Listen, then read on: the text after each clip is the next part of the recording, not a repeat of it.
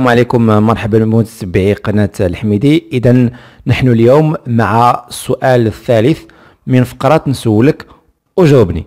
فقط عندي آه، ملاحظة هو أن الجواب الصحيح اللي نتوما تتكتبوا لي في التعاليق.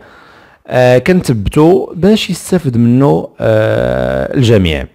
إذا فسؤال اليوم هو على الشكل التالي ما هي الحروف التي لا يمكنها أن تكون حرف روي وماذا تسمى؟ ثم ما هو حرف الروي في هذه الأبيات الشعرية؟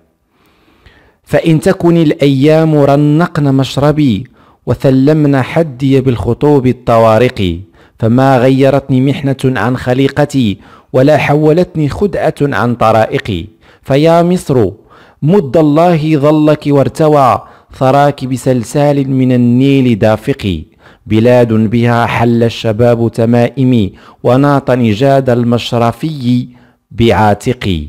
إذا الجواب ديالكم حول هذه الأبيات فما هو حرف الروي